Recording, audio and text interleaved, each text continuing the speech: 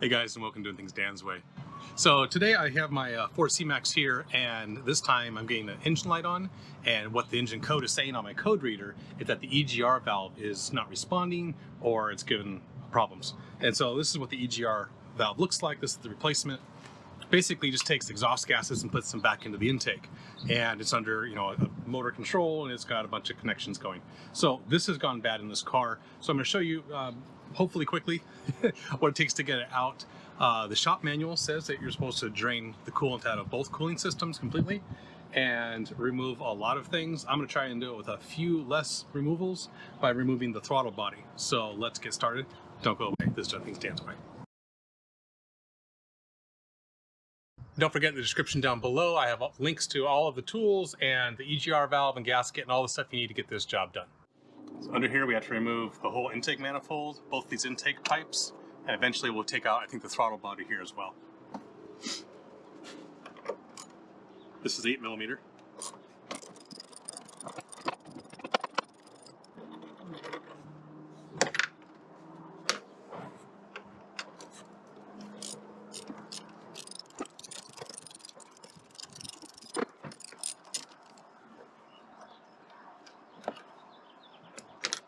This is a seven millimeter. That tucked in back here is an eight millimeter.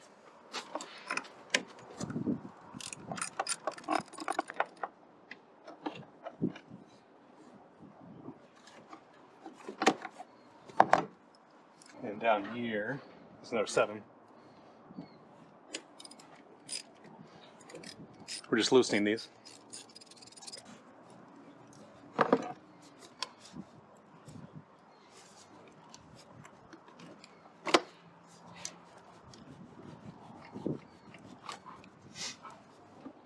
PVC here is attached by this clip. So I'll pull that, that clip out. And then we need to get this guy off. So you lift up on that little red lock right there. And then you push on it. Just under the under the red, you push there to pull. and That comes right off.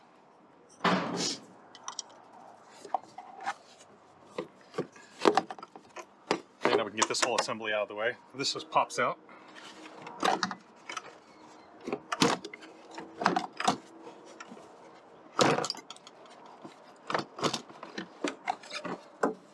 Just lift up on it and pull it off the stops.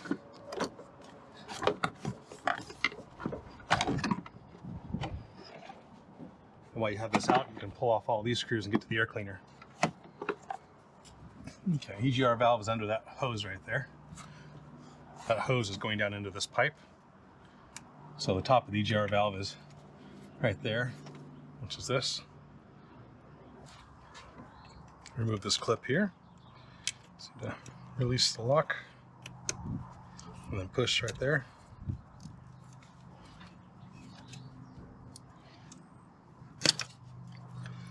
Pop that off.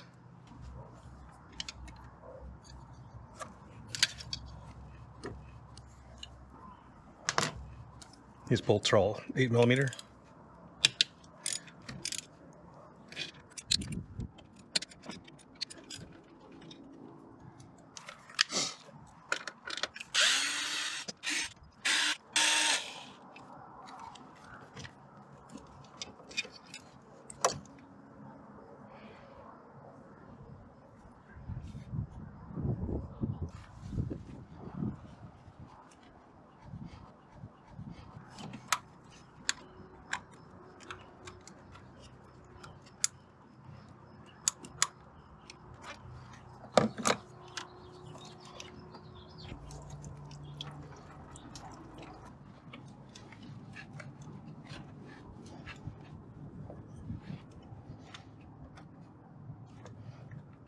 There wasn't all that much in there.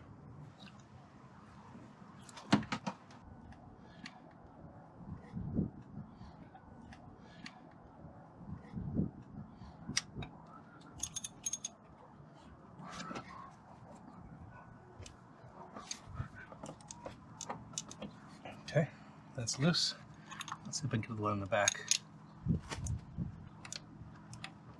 Okay, I'm on it, but I'm not at all confident. The angle is just all wrong here. So I'm gonna go back to the smaller one, see if I can get a better angle on it, and I can extend this tool if I need to. It's I can't even see around the corner. I'm just literally doing this by feel.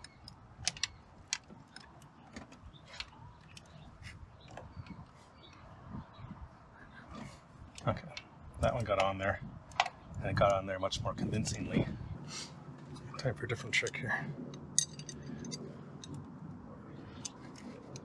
Make sure it's on there really square. And we're pulling with. There we go. Just that was enough to break it free.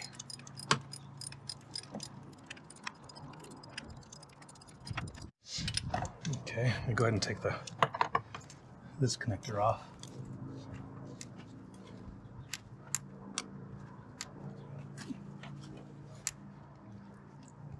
Pushing hard with my thumb. There we go. Now this wire comes up over here. So I can give it a little help.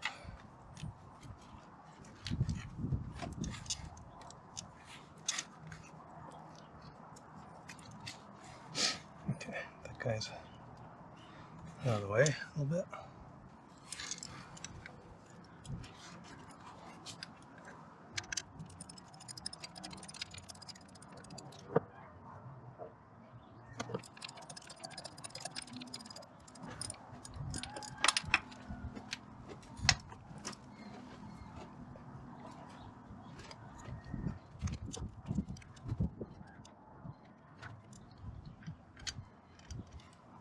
Okay, that's the bolt I was pulling out. Now I can get this this front one out.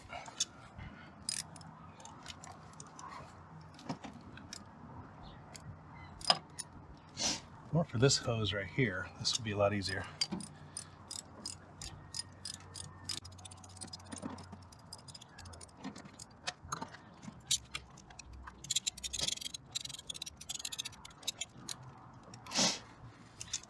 Yeah, if you don't have one of these, these things are awesome. They just let you get in there and, you know, gives you all kinds of torque with just your fingertips uh, to tighten or untighten things. I'll put a link down below to that too, just so uh, you can grab one if you don't have it.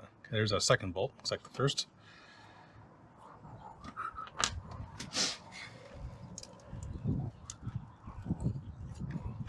Here she comes. Okay.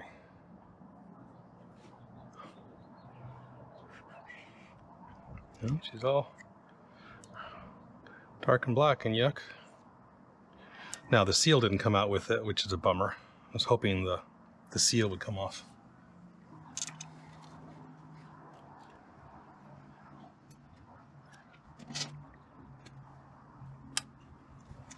Yeah, thank you, Lord. Okay, there's the seal. It's like a stamped metal piece.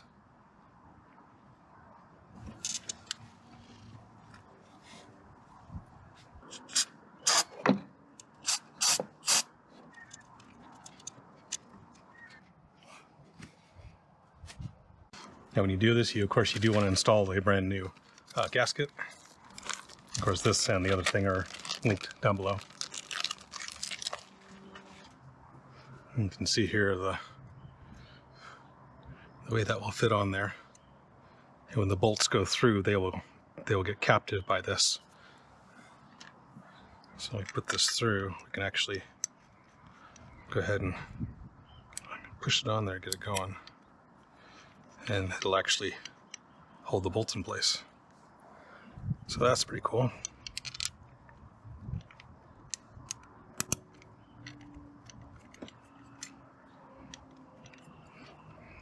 Okay.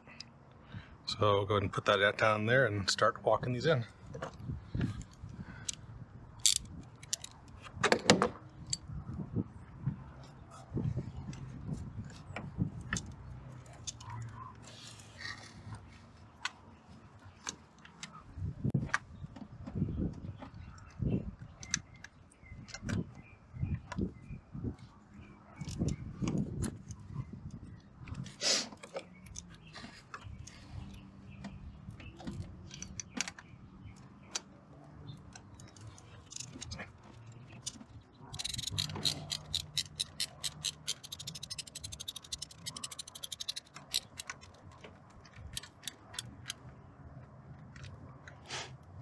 Now the back one, this tool's, this is too big for. So let's use this by itself at least to get it going.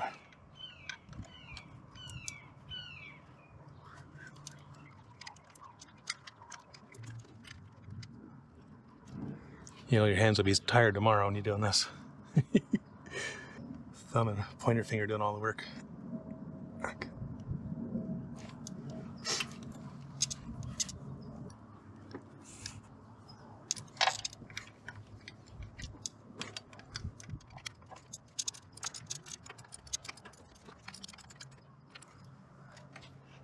Okay, that one's close to tight.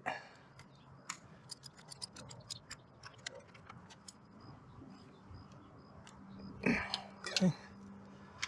This is tight as I feel comfortable doing it. Okay. Oh, we're almost there. Put this hose back on.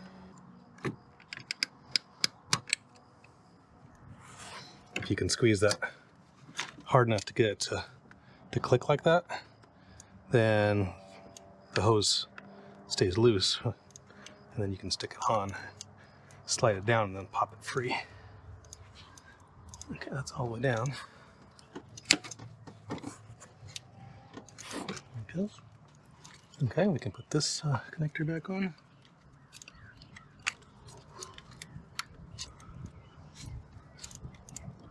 Okay, that's all good. Let's go ahead and get this uh, throttle body put back on.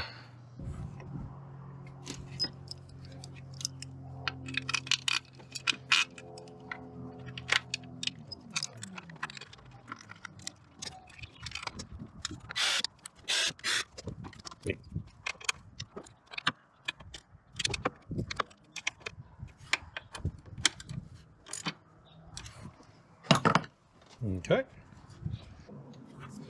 And get this back over here. It's the intake side. And we'll go bring over the uh, the whole intake.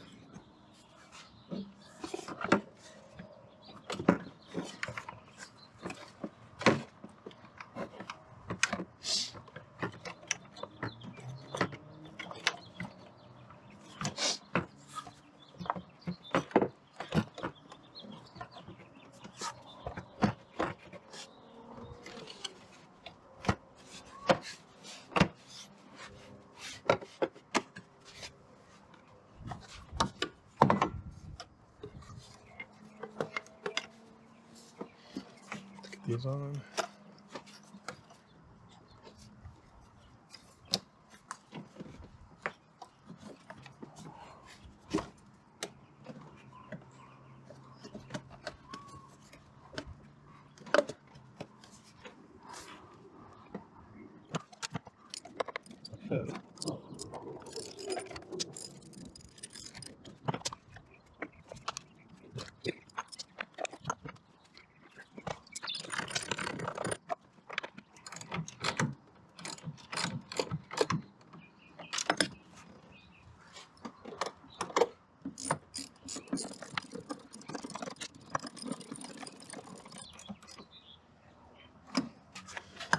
Don't forget this connector here.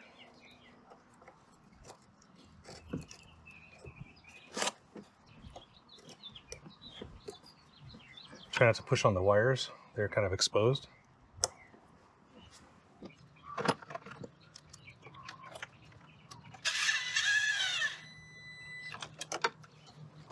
Okay, that's tight, that's tight, that's tight. That's good. That was tight, was tight. I think we're done. Let's put all these tools away and fire it up.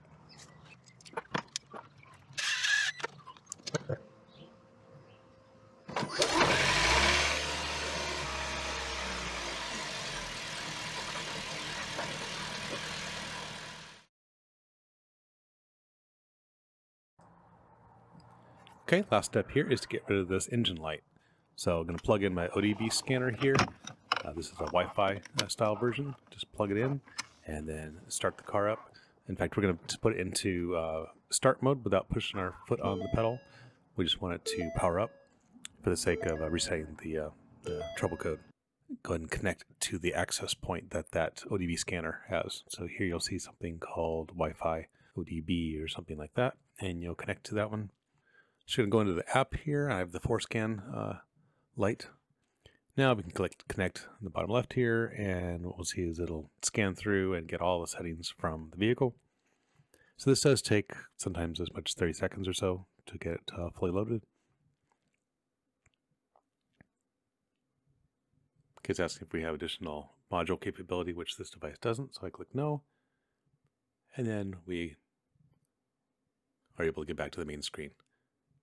So here we can click on error codes and you can see we get a list of all kinds of computers. And if we click on this one here for the EGR, we can see the details. Uh, we see the code number there and uh, some idea of what it's about. If you click on that blue word EGR, it'll pull up the internet and give you some ideas on what that trouble code means. So now what we're to do is go back and we're actually to click on Reset DTC Trouble Codes. And it'll say, are you sure? You say yes. And then it'll reset them and ask you to recycle or to power cycle the engine. So we turn the engine off and come back on again. And hey, look, we don't have any error codes anymore. Okay. Foot on the brake, start the car. See pop up. Ready to drive.